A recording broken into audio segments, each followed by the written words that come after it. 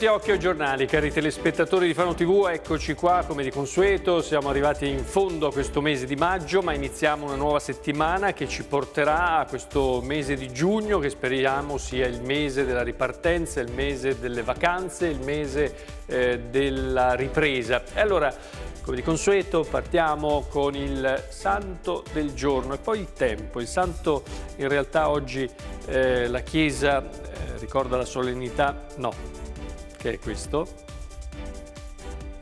della Santissima Trinità. Allora, vediamo un attimo. No, oggi è la visitazione della Beata Vergine Maria. Eh, questo è un cartello sbagliato, era ieri. Allora andiamo, 5.29, 20.45, vediamo il tempo.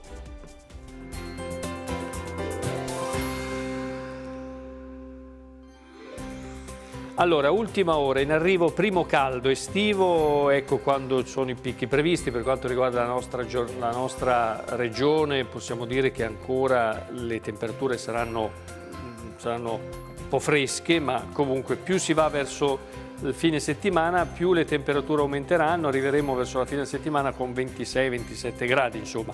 Intanto c'è poco da dire perché queste sono giornate come vedete soleggiate per fortuna, ma insomma ecco niente di che, niente di particolare da segnalare, sono giornate queste domani, il primo di giugno, con un cielo sereno, poco nuvoloso, praticamente eh, sereno ovunque anche il pomeriggio e le temperature man mano che andremo avanti saranno decisamente decisamente più eh, calde.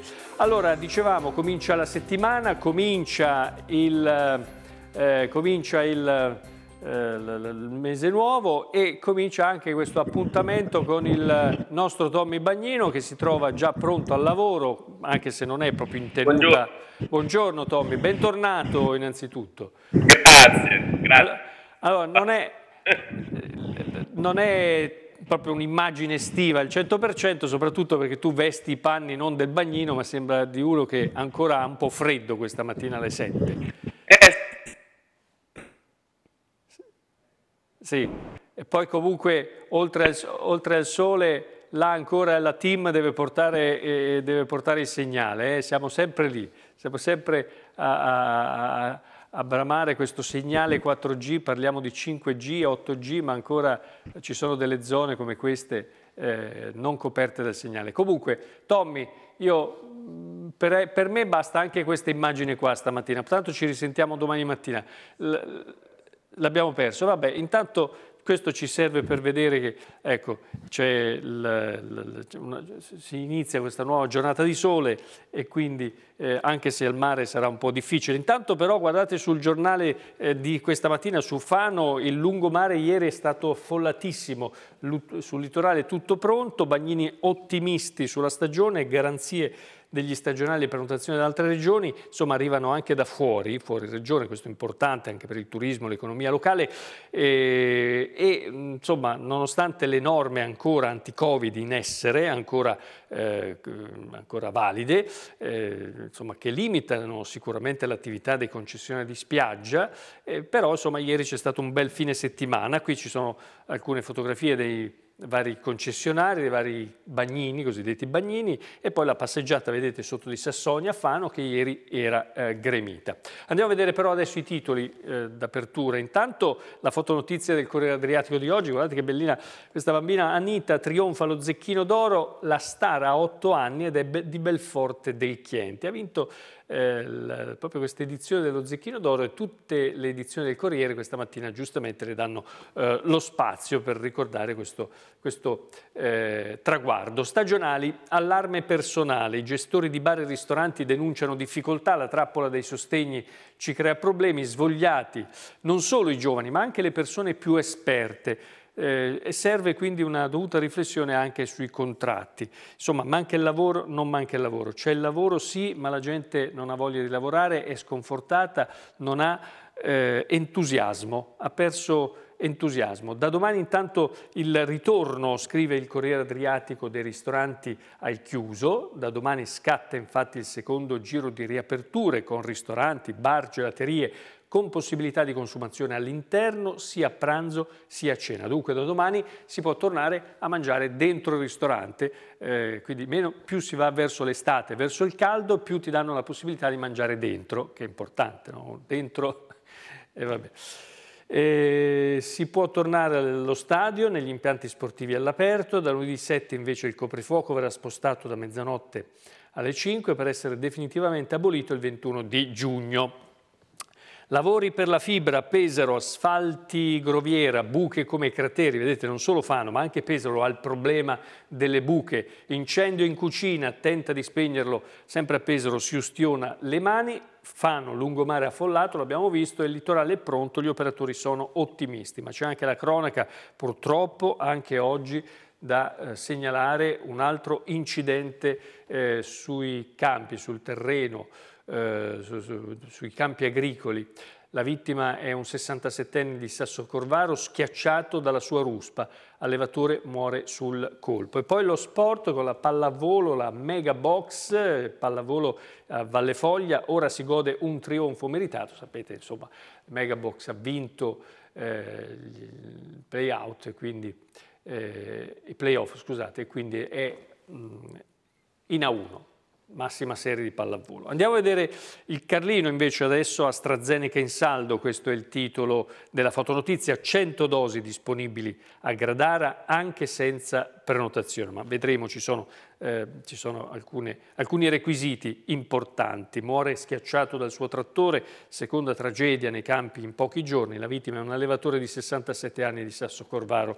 E poi c'è questa notizia che arriva sempre da Pesaro, Spettacoli negli hangar del porto, un'idea interessante, il comune ha fatto il sopralluogo, è una location certamente alternativa, eh, cioè quello di fare degli spettacoli all'interno di questi hangar dove si costruiscono gli yacht e questo hangar eh, così eh, futuristico si trova proprio nel, nel, porto di Pesaro. Bagnini pronti, ma l'arenile è corto, ci serve più sabbia, dicono alcuni bagnini di Pesaro, poi Valentino cambia yacht, il nuovo è lungo 23 metri, ancorato vicino al cantiere Rossini e poi sul Nerone, sul Monte Nerone, il rifugio Corsini, la riapertura segna la rinascita delle aree interne. È stato inaugurato, c'eravamo anche noi di Fano TV, nei prossimi giorni vi faremo vedere uno speciale, tutto dedicato a questa importante inaugurazione, lo ricorderete, il rifugio Corsini eh, fu distrutto, rimase eh, coinvolto in un incendio che devastò completamente tutto quanto.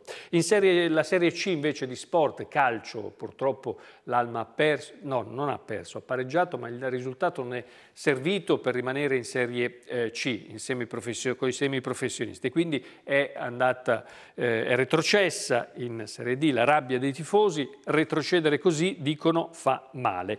Poi Megabox in A1, Martina e il coach Fabio, eroi della promozione. Oh, io direi di partire questa mattina, la nostra, la nostra rassegna, la nostra eh, il nostro commento alla stampa, oggi molte pagine sono sportive, quindi sarà più limitata con le altre notizie. Eh, pagina 13 del resto del Carlino, intanto abbiamo visto ristoranti aperti anche al chiuso, è la svolta, riaprono gli impianti sportivi outdoor, si potrà prendere il caffè dentro il bar, quindi al balcone. Eh, tavoli sempre distanziati, via il coprifuoco dal 21 di giugno. Il certificato verde per i paesi extraeuropei sarà digitale con il codice da mostrare sul telefonino. Anche per i matrimoni, sia in area bianca sia in zona gialla, dal 15 giugno servirà però il Green Pass. Ma la notizia sulla quale volevo un attimo soffermarmi è questa, perché noi su, in questa rassegna stampa, chi ci segue tutti i giorni, ormai eh, lo sa che eh, insomma, non abbiamo mai fatto mistero sul fatto che eh, l'idea che il virus possa essere uscito da un laboratorio eh, a Wuhan in Cina eh, fosse eh, più che plausibile. In realtà all'inizio, quando lo dicevamo, lo dicevo da qui, insomma c'era eh, avevamo pochi dati, anche leggendo su internet, a cercare, a scartabellare nei siti il più possibile affidabili, ma comunque sempre con un certo eh, indice di rischio. E, insomma, eh, era difficile avere informazioni, anche perché il governo cinese non collabora in questo senso, non lo dico io, lo dice l'OMS, ma Guido Silvestri, che i marchigiani conoscono bene, 59 anni, ieri su Rai 3 ha detto c'è una zona della sequenza del virus della proteina spike, 12 nucleotidi, nucleotidi, che stanno a metà tra la prima e la seconda parte della famosa proteina spike, la S, che è una sequenza particolarmente strana da spiegare con un semplice passaggio da un virus all'altro attraverso ricombinazione. Capite? Lo dice Guido Silvestri, ma eh, si allunga insieme a Guido Silvestri, la lista di questi scienziati che adesso sono dubbiosi sull'origine del SARS-CoV-2 e cade dunque il tabù del laboratorio. Cosa significa cade il tabù del laboratorio?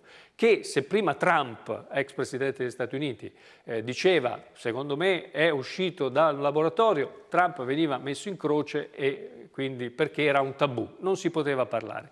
Ora cade questo tabù e quindi dire che il virus sia nato là eh, e adesso la lista dei virologi si allunga, eh, non è più un tabù, si può dire. Si può dire perché si può dire. La, la, la, dittatura del pensiero unico ci dice che si può dire e quindi lo possiamo dire senza timore, senza eh, paura di finire sulla gogna mediatica o peggio ancora di venire esclusi dai, eh, dai, talk show, esclusi dai telegiornali, quelli che contano, eccetera, eccetera. Ora si può dire, è caduto il tabù. Quindi, quindi ci sono, ricordiamo, è importante, c'è una zona, c'è un passaggio che non riescono a eh, comprendere, o, o, o meglio, abbiamo trovato una sequenza nel virus strana, la parola è questa, strana, una sequenza strana, in una replica naturale, cioè se fosse un virus naturale si sarebbe replicato in un certo modo, ma siccome qui c'è una sequenza strana,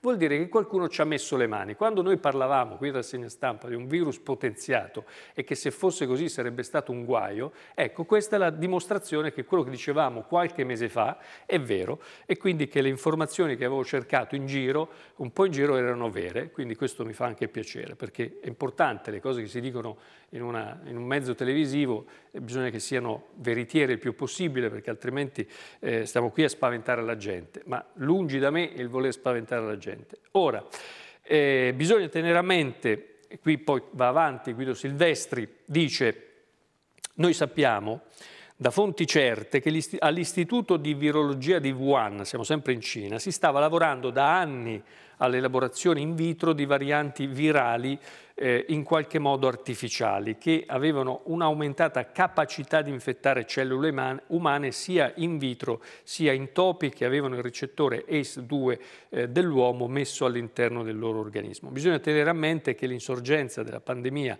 a Wuhan, dove tutto è nato, dove tutto è venuto fuori, insomma nel famoso market dove si vendevano gli animali vivi, insomma lì vanno di moda questi, cioè sono usanza, si, si comprano eh, animali eh, con una situazione igienica spesso discutibile. Comunque ehm, bisogna tenere a mente che l'insorgenza della pandemia nel famoso market è avvenuta letteralmente a due o tre chilometri di distanza, guarda caso, insomma, dall'istituto di virologia, guarda caso l'ho aggiunto io. Qualche giorno fa l'americano eh, Metzl, democratico, esperto di tecnologia e geopolitica, ha ribadito le stesse conclusioni di Trump di qualche mese fa, dichiarando in un'intervista al Corriere della Sera Pechino ha mentito, il virus non è arrivato dal mercato.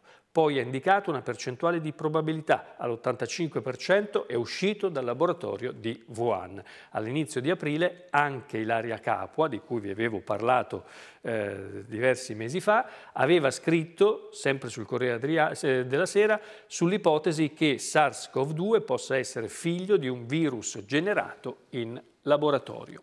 Ora, non c'è poco da dire, lasciamo perdere, andiamo avanti e eh, tanto ormai ci siamo dentro con tutte e due le scarpe e quindi cerchiamo di venirne fuori. Vaccini AstraZeneca, ultimo miglio, 100 dosi da smaltire in un mese. Le fiale avanzate negli ambulatori dei medici di base sono state rastrellate e rese disponibili. Sapete che il virus, ha, eh, scusate, il, il vaccino ha una scadenza, quindi esistono queste fiale, ci sono un centinaio, come scrive Benedetta Iacomucci sul Carlino di questa mattina, un centinaio abbondante di fiale di vaccini AstraZeneca che vanno smaltiti, somministrati entro il 30 di giugno, altrimenti bisognerà buttarli via perché eh, scaduti.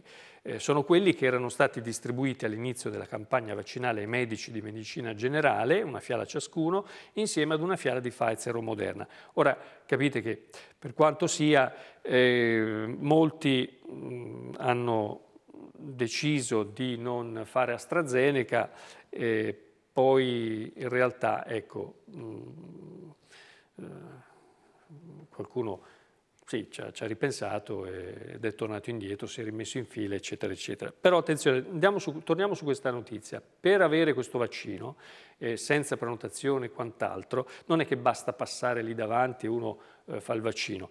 Eh, bisogna avere dei requisiti.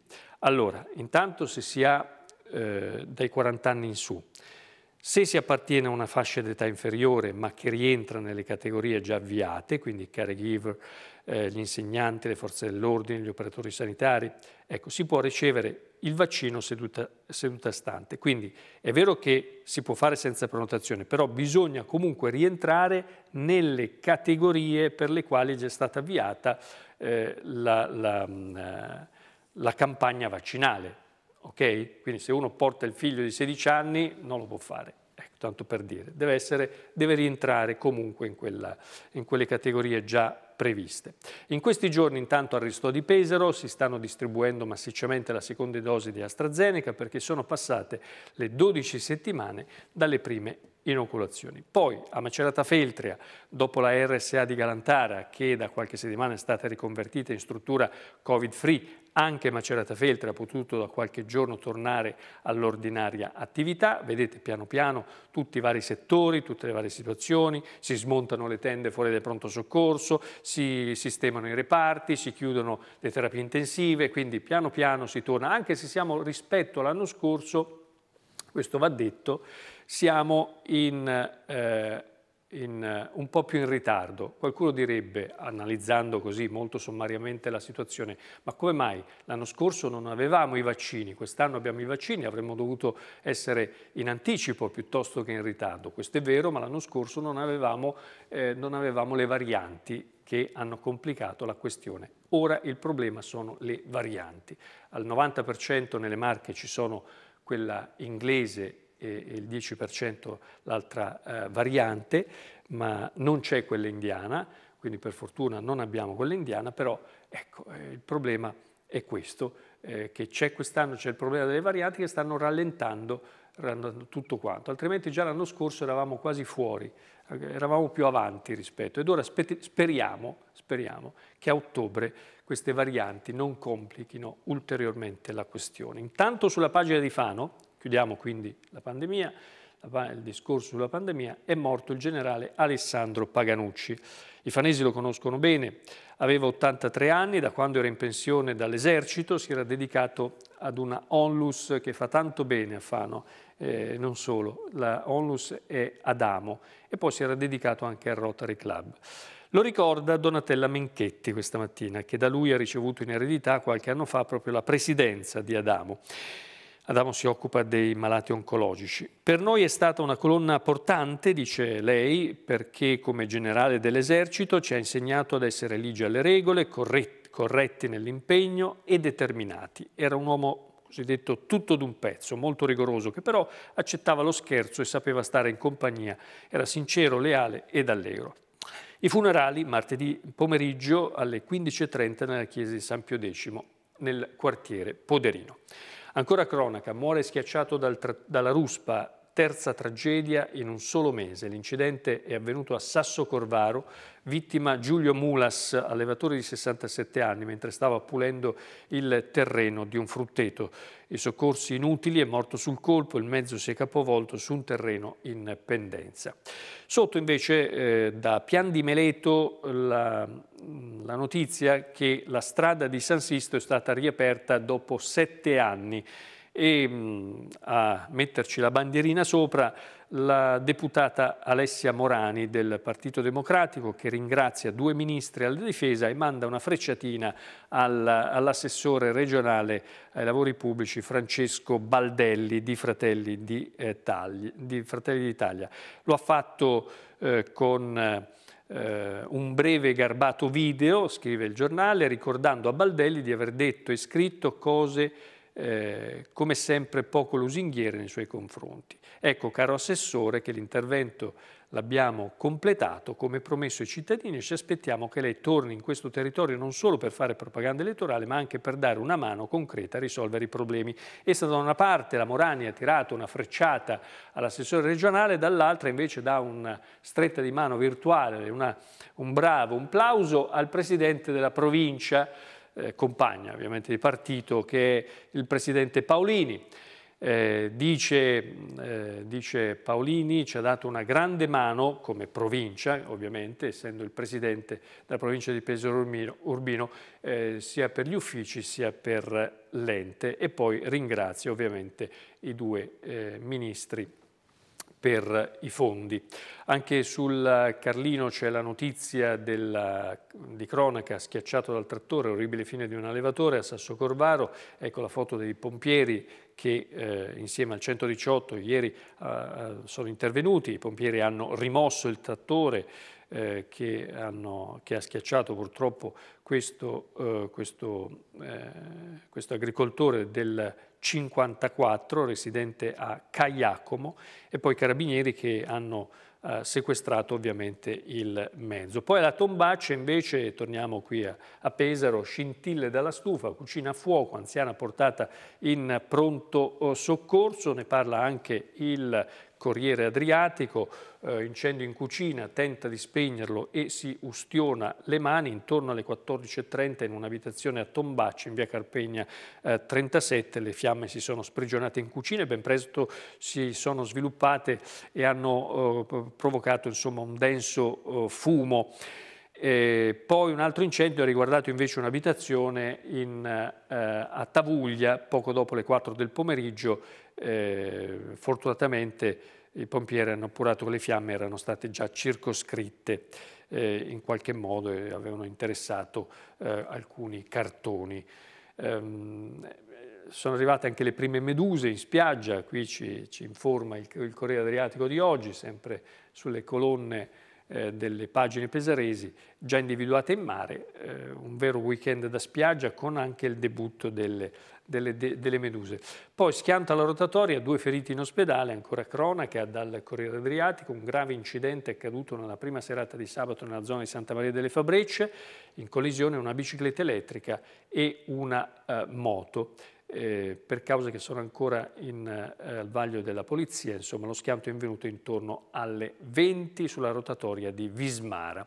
Mentre la pagina 7 del Resto del Carlino eh, pubblica le fotografie di questo importante evento che anche qui eh, dà una certa speranza per tutta l'area del Monte Nerone, che è un'area stupenda.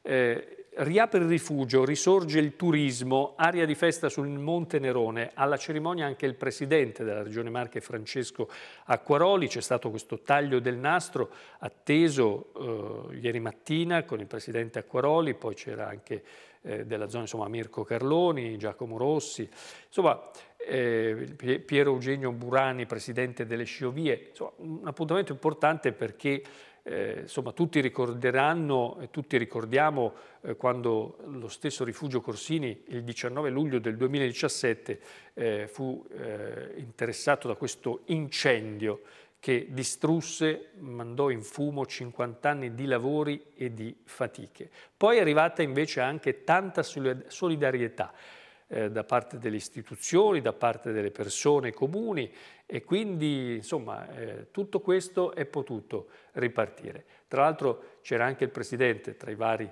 eh, politici, eccetera, l'ex presidente, vicepresidente anzi del Consiglio regionale Renato Claudio Minardi, eh, che durante la passata legislatura si è impegnato a fondo eh, per dare una mano e per far ripartire questo rifugio. Intanto eccolo qua, l'hangar, quindi dalla montagna torniamo di nuovo al mare. Eh, questo è l'hangar dove all'interno eh, si potrebbero organizzare eh, eventi, eventi e spettacoli all'interno di questo hangar, sopralluogo dopo la matta idea del comune, Vimini e Palacio, eh, quindi vice sindaco e sovrintendente del Roffo, Rossini Opera Festival hanno visionato la location, proposta interessante, dice le strutture si prestano.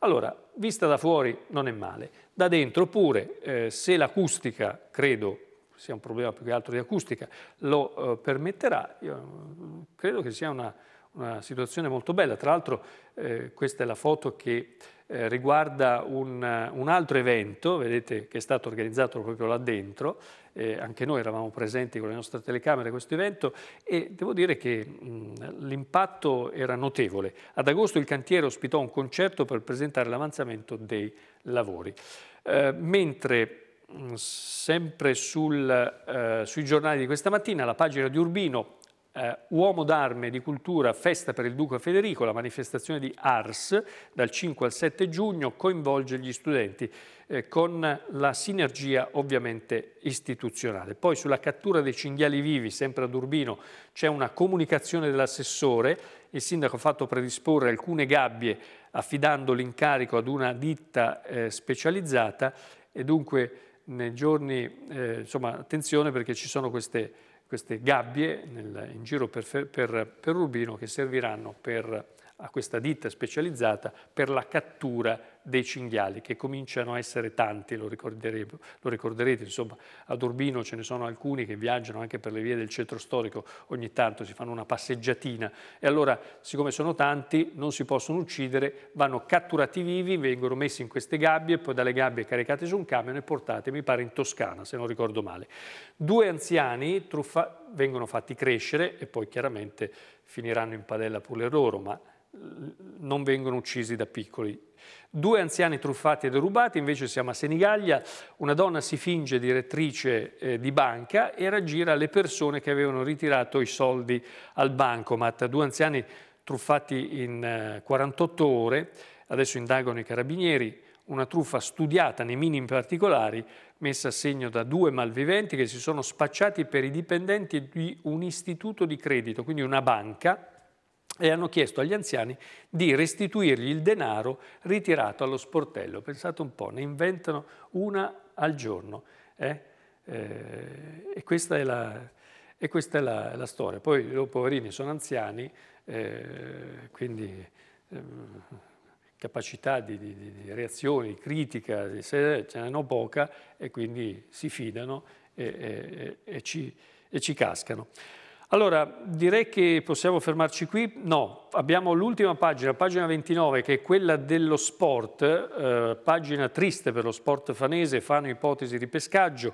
Dopo la dolorosa retrocessione in Serie D, la società eh, sembra decisa a non lasciare nulla di intentato, restano i cocci di una caduta tra i dilettanti che nonostante tre allenatori cambiati non si è riusciti ad evitare, l'ultimo è Tacchinardi che però, poretto, anche lui non poteva fare di più, Alma tutti i motivi di una retrocessione, invece il Carlino, i fanesi non chiedono solo un'assunzione di responsabilità ma attendono di conoscere perché si è giunti ad un risultato negativo. Però eh, è bene dirlo, e lo dico con le parole di Silvano Clapis, in fondo si tratta solo di un piccolo dramma sportivo, quello della retrocessione dell'Alba dalla Serie C ai dilettanti, ma siccome si tratta comunque di una società importante, una delle più antiche d'Italia, è chiaro che è una, una, una cosa che fa che, che, che, che, dispiace, però parliamo sempre di calcio. Eh. Tifosi Granata col morale sotto i tacchi, c'è amarezza, l'ambiente ora spesa, in una svolta e chissà magari in un eh, ripescaggio. L'ultima